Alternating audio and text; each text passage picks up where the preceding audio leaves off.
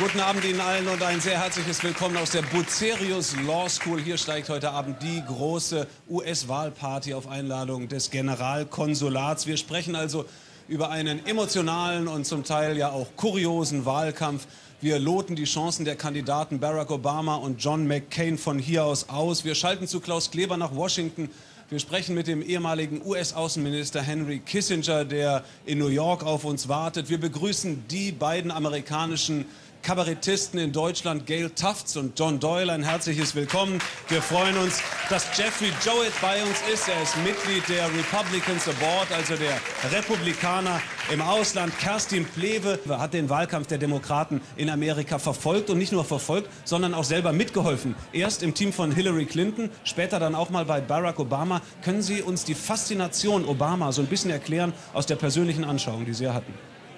Ja, das, ähm, die Faszination, die kommt bei ihm aus der Person. Ähm, und zwar maßgeblich dadurch, dass er unglaublich authentisch wirkt. Wenn man ihm zuhört, wenn man ihn erlebt, wenn man sein Team erlebt, dann hört man immer wieder, dass gesagt wird, ähm, er ist nicht wie die anderen Politiker. Er meint, äh, er macht das nicht nur aus Machtgründen, nicht nur weil er ins Weiße Haus will, was man Hillary ja immer äh, so ein bisschen vorgeworfen hat, sondern er will die Welt verändern. Und seine ähm, Anhänger glauben das, sie unterstützen ihn über alle Maßen. Und ähm, diese Form von Engagement sieht man selten. Mhm. In Deutschland sowieso nicht, aber auch in den USA ist es selten. Ich habe es genauso wie Gail erlebt. Sie sind äh, gehypt. Ähm, ganz viele Umfragen sagen, ähm, Obama wird diese Wahl gewinnen. Einige sagen sogar, er wird sie ganz deutlich gewinnen. Und trotzdem gibt es immer wieder auch zurückhaltendere Stimmen, die sagen, vielleicht sagen die Leute in diesen Umfragen nicht die Wahrheit, weil sie sich nicht trauen zu bekunden, dass die Hautfarbe doch wichtig ist. Ja. Bradley-Faktor ist in Anspielung auf den ehemaligen Los Angeles Bürgermeister, ja. der mal Gouverneur von Kalifornien werden wollte,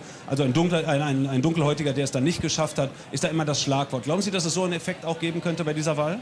Ich bin sicher, dass es ihn gibt. Die Frage ist, äh, der Bradley-Faktor entstand ja in den 80er Jahren. Die Frage ist, wie stark ist dieser Faktor heute noch? Mhm. Ist er 5 Prozent, ist er 7 Prozent, ist er 10 Prozent? Aber ähm, wie es schon gesagt wurde, auch von Herrn Kleber, am Ende entscheidet nur das, was in der Wahlurne passiert und ob die Amerikaner dann wirklich so viel Change wirklich wollen. Mhm. Nicht nur einen farbigen im Weißen Haus zu haben, eine schwarze Familie im Weißen Haus, muss man auch bedenken, das wird sich zeigen. Und wenn ihr mich einmal noch mal ganz kurz, ich muss hier unten mal ran, einmal abtauchen. Eieiei, weil das ist ja so gewesen, wann immer man Fernsehen geguckt hat, zuletzt und Bilder aus Amerika gesehen hat, dann hat man gedacht, es kann keine anderen Druckerzeugnisse mehr geben, weil in jedem Bild immer diese Dinger zu sehen waren. Change und natürlich andersrum auch Change.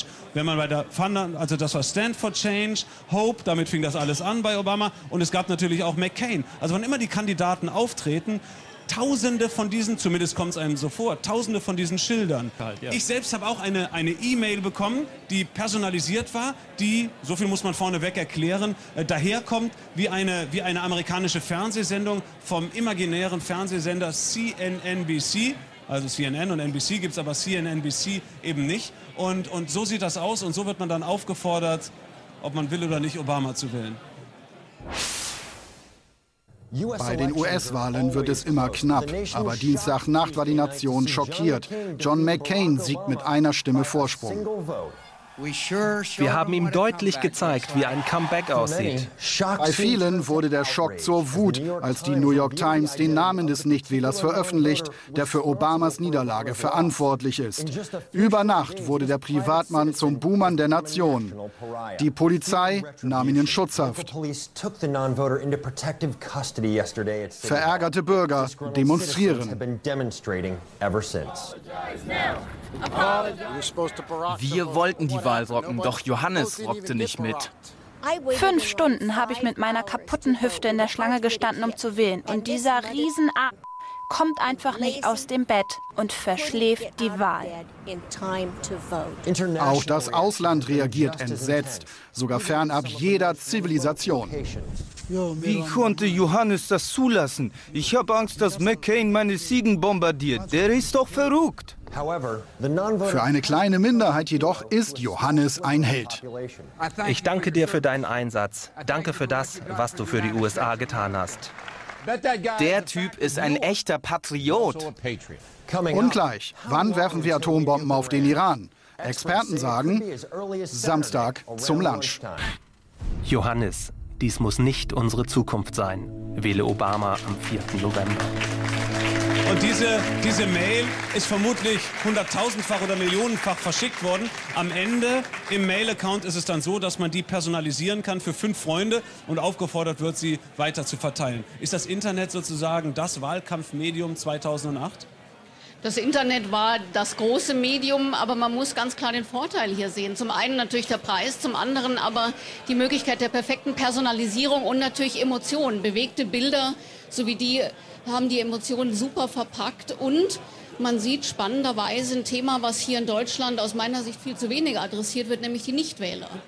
Man muss sich ähm, vergegenwärtigen, die Demokraten haben gut 10 Millionen nicht registrierte Wähler an die Wahlurnen geholt, unter anderem mit solchen Spots. Und Obama hat es unter anderem durch die jungen Menschen und die wieder zum politischen Leben erweckten Nichtwähler geschafft, ähm, hier zumindest mal eine große Welle des Erfolgs dran. Wir haben in Deutschland auch 13 Millionen Nichtwähler, um die kümmern sich aber die wenigsten. Sie haben die Kampagnen in Amerika verfolgt. Sie haben dort beobachtet, aber Sie haben auch ein bisschen mitgeholfen. Erst bei Hillary Clinton in der Kampagne. Sie dachten wohl, dass die das Rennen macht bei den Demokraten. Ich war ein großer Fan, ich ja? gebe zu. Ja, ist ja völlig Frau in im Ordnung. Weißen Haus ist spannend. Völlig in Ordnung. Und dann bei Barack Obama. Was ist das für eine Stimmung dort im Team? Was sind das für Menschen, die sich bereit erklären, ja größtenteils ohne Bezahlung ähm, diesem Mann zur Verfügung zu stehen? Und zwar für politische Zwecke.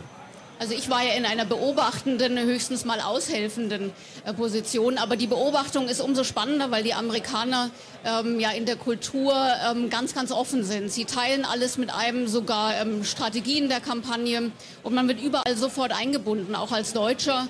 Und ähm, die Stimmung war nicht nur ähm, enthusiastisch in vielen, eben mit der großen Hoffnung verbunden, dass Obama eben wirklich diesen Weg schafft. Übrigens auch mit Hillary war enorm viel Emotion verbunden. Ich habe mit vielen, nicht nur Frauen, sondern auch Männern äh, im Team gearbeitet und habe das erlebt, die gesagt haben, Hillary hat History äh, geschrieben als erste Frau potenziell und das kennzeichnet die amerikanischen Kampagnen, dass enorm viel Emotion dabei ist und das ist etwas, wo wir Deutschen ja immer so ein bisschen hingucken und sagen, na ja, das ist ja so ein bisschen wenig Inhalt und ein bisschen sehr inszeniert.